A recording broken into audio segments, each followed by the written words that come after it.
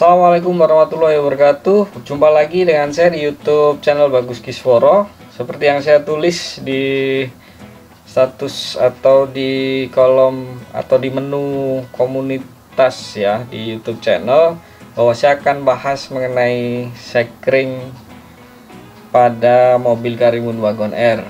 Tentunya saya ingin bahas mengenai bagaimana sih kita caranya bisa tahu mengenai sekring-sekring yang ada di mobil kita. Terutama sekring yang ada di ruang mesin sama yang ada di bawah dashboard. Dan teman-teman saya bukan ahli saya mungkin sama dengan teman-teman semua. Cuman terkadang saya ada sedikit waktu untuk berani mencoba gitu saja. Dan ke depan saya akan bahas dengan dua cara. Yang pertama menggunakan panduan buku panduan ya Karimun Wagon R dan menggunakan tutup box sekring. Ya, di situ biasanya ada kode-kode supaya kita tahu itu sekring untuk apa dan apabila kita ada masalah dengan kelistrikan mungkin kita bisa cek di sekringnya terlebih dahulu dilihat dari tutup box sekringnya atau melalui buku panduan. Bagi teman-teman nanti yang mungkin ya buku panduannya sudah hilang atau bahkan males uh, membuka buku panduan Insya Allah nanti saya akan buat uh, soft filenya saya sudah mulai scan kemudian nanti akan saya buatkan softwarenya buat teman-teman semua berupa PDF oke teman-teman mari kita bahas bersama dan nanti kalau memang ada yang keliru mohon tulis di kolom komen bahwa ada yang keliru saya mengerti atau saya pahami tentang sekring itu ya mudah-mudahan bermanfaat. Yuk kita saksikan bersama. Oke teman-teman langsung saja. Ini saya sudah buat ilustrasinya ya. Ada apa dari buku petunjuk yang sudah saya crop saya capture sorry saya pindah ke Word ya. Kemudian ada foto di sini supaya nanti kita lebih clear untuk mengerti tentang uh, sekring yang ada di mobil kita. Yang pertama kita bahas mengenai sekring di ruang mesin. Di mana cara untuk mengertinya? Ada dua cara ya. Seperti yang saya bilang di awal yaitu dengan menggunakan buku petunjuk dan menggunakan tutup boxnya gitu. Nah ini pertama kita bahas uh, di sekring utama teman-teman semua kita bisa lihat ya ini saya sesuaikan saya fotokan. Ini sekring utama ini ada di uh, kepala aki yang plus ya. Ini ada angka satu di sini semua beban kelistrikan. Di sini nih. Nanti kalau kita buka kelihatan hampir sama bentuknya seperti ini. Nah kalau ini ada di belakangnya sini teman-teman semua. Ya ini nomor dua apa nih 50 ampere dom lampu kecil door lock. Ini di sini posisinya. Nomor 27 ya nanti kita lihat di nomor 27 apa. Lampu besar air kompresor kipas radiator di sini. Nah khusus yang ini saya kira uh, saya tidak tahu ya. Butuh ahli sepertinya kalau ada kerusakan atau perlu diganti itu. Dan mungkin belinya harus satu set kalau ini.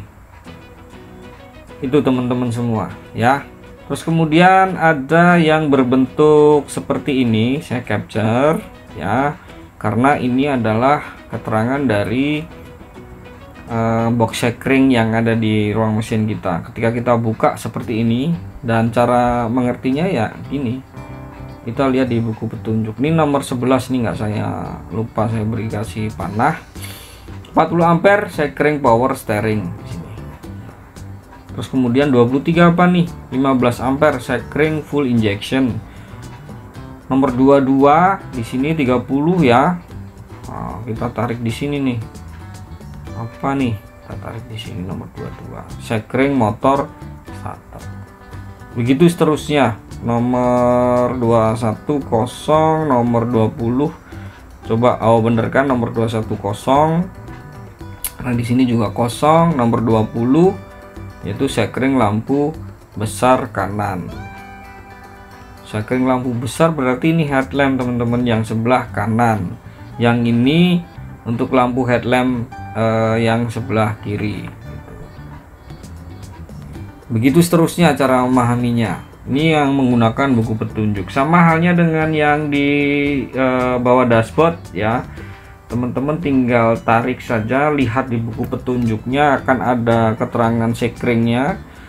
Ini sudah saya berikan uh, panah gitu ya. Ini di 30 ampere nih di nomor 20 apa nih? 30 ampere power window ya di buku petunjuk ada ini teman-teman. Ya nanti dilihat persis nih urutannya begini. Begitu ya ini yang 15 ampere apa nih? Uh, coba kita tarik. Ah 15 ampere A0 tapi ada isinya. Ini saya sebenarnya tahu teman-teman ya. Kalau saya baca di Suzuki Karimun Wagon R yang Maruti sebenarnya ini untuk uh, defogger defogger karena kita karena kita LCGC maka kayaknya yang dikurangi fasilitas itu. Di sini terisi tapi di sini tertulis kosong. Tapi ketika saya baca artikel untuk yang Suzuki Karimun Wagon R yang Maruti itu untuk defoker itu teman-teman ya cara uh, memahami atau mengerti fungsi dari sekring yang ada di mobil kita menggunakan buku petunjuk. Dan ini saya berikan apa ya keterangan operasionalnya ya motor blower itu untuk relay motor blowernya ST6 itu untuk relay motor starter. Karena di sini tertulis ST gitu ya.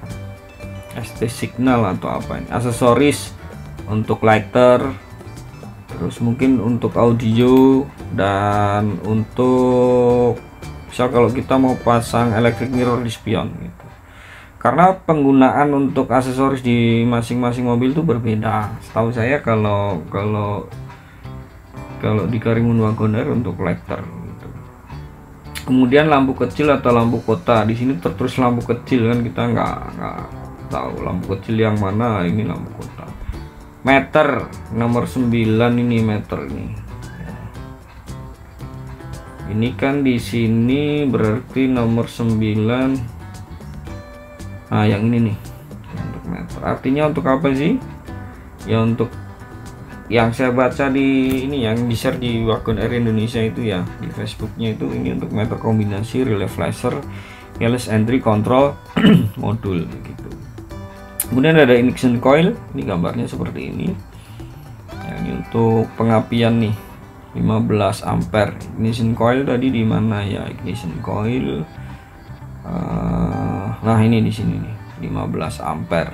Berarti ini kita tarik ini sini. Itu ya teman-teman semua ya. Jadi untuk cara mengerti sekring yang ada di mobil kita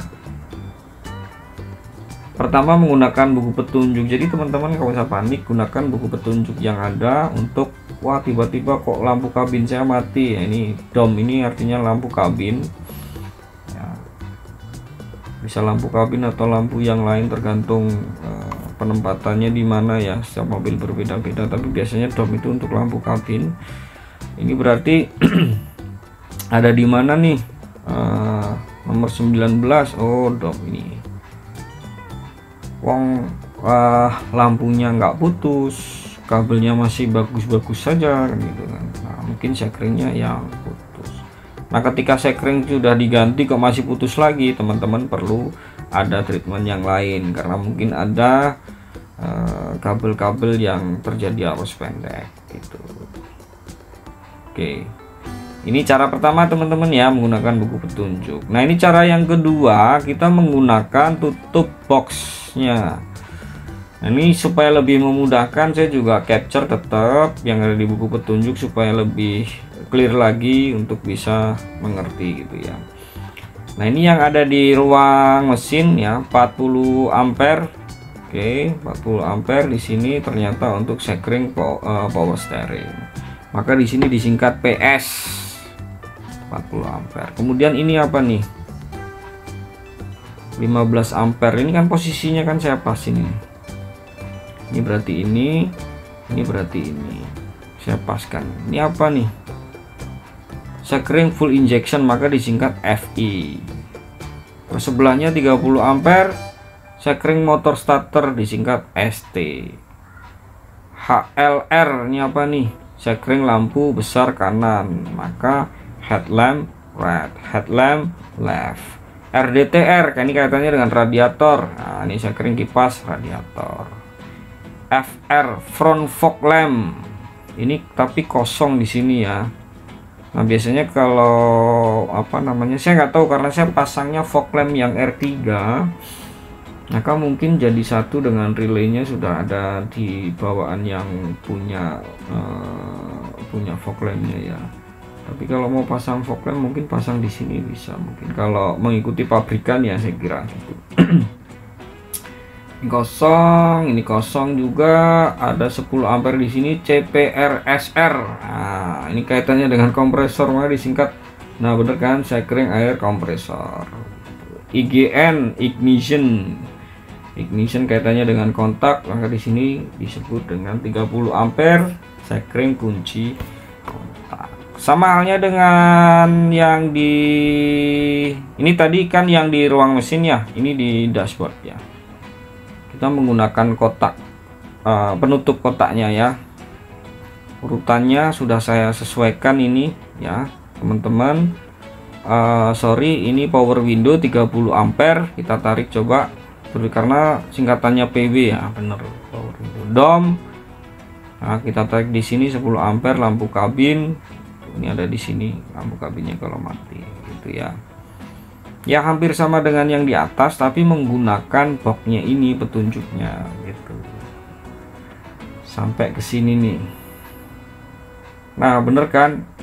Ini yang tadi saya bilang yang ada tapi tetap dibilang di sini kosong. RR Dev namanya. Jadi rear defogger sebenarnya kita sudah ada anti kabutnya di belakang keren sebenarnya mobil Karimun Wagon R ini karena masuk program LCGC jadi banyak yang dikurangi. Horn hazard itu klakson teman-teman semua. DL maka dikatakan di sini door lock. Nah, ini kosong ditulis kosong 10 ampere. Uh, kosong juga. IG1 SIG di sini. Ada coba kita lihat IG1 SIG tadi apa? Modul power steering itu ya teman-teman semua. Nah ini sama nih. Yang ini cara ngelihatnya gimana? Ini ditulis di sini IG2 SIG tadi memang saya belum uh, banyak tahu ya mengenai IG2 SIG ini. Nanti mudah-mudahan dibantu teman-teman di kolom komen apa ini maksudnya gitu. Kemudian whip wiper atau washernya sekalian jadi satu nih di sini whip berarti ini yang 20 ampere karena warna kuning ya. 20 ampere gitu. Terus ignition coil. Nah ini tarik ke sini 15 ampere.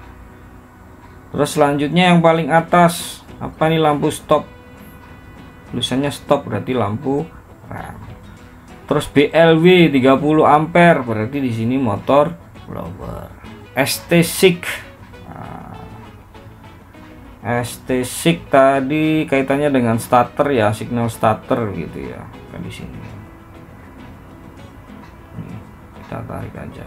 ACC aksesoris RR Fog hmm, ACC yang 15 ampere rear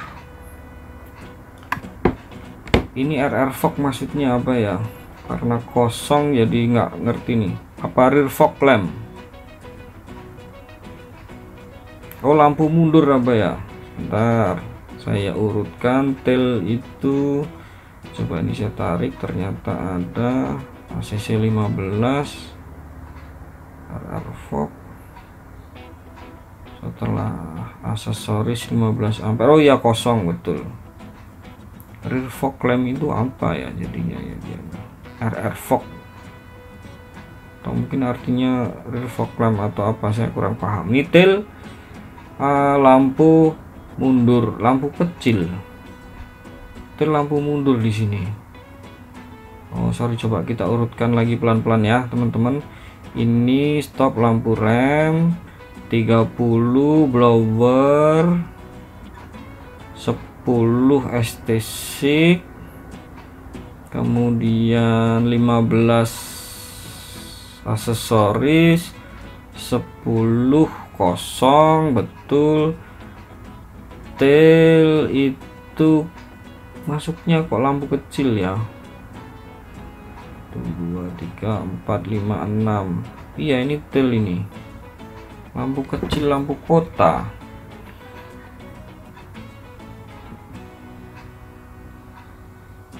Terus coba ini saya lihat dari sini 20 ampere.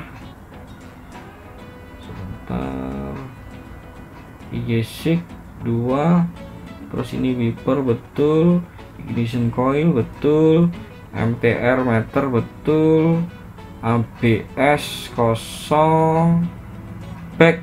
Oh iya. Back lampu mundur di sini ya. Back lampu mundur di sini. Berarti benar ini lampu kecil ini tail. Setahu saya kalau saya baca di beberapa artikel itu tail itu untuk yang bagian belakang ya. Uh, ya mungkin mungkin jadi satu juga lampu belakang di sini yang untuk apa ya kalau lampu mundur sudah ada berarti mungkin kaitannya dengan lampu rem yang belakang kalau sini sini bunyinya tail ya. Tapi di sini dikatakan lampu kecil. Oke lah coba kita lihat di atas tadi. Lampu kecil oh ya sama bener. Lampu kecil lampu kecil.